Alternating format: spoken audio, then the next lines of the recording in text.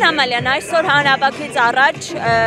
Բագրատ Սուրբազյանը հայտարարել է, որ վճռորոշ է հանրավակը լինելու, կարևոր իրադարձություն է լինելու։ Ինչ նկատի ուներ։ Ձեզ համար հասկանալի է Բագրատ Սուրբազյանը ինչ նկատի ուներ, ինչ փուլի մասն է խոսքը։ Բագրատ Սրբազանն է, չէ՞ ասել որ վճռորոշ է։ Ես էլ հավատում եմ, որ վճռորոշ է, որպես քաղաքացի էստեղ եմ։ Լավ։ Լավ, ուժեղ։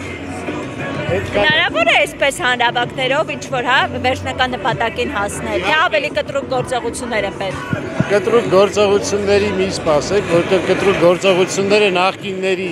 նախկինների նկատի ունեմ ես Նիկոլասների որոշումներ մուրճով որ ոստիկան ծեծելուց փառավորվեն, դա իրանց մոտեցումն է, մենք որևէ ոստիկանի վնաս չենք տալու, բայց խաղաղությամբ ուժեղ ենք լինելու, որտեղ մեր խաղաղության մեջ սեր կա։ Այսօր է խաղար հանրավակից առաջ տեսնում ենք մեծ թվով ոստիկաններ են արդեն իսկ բերվել։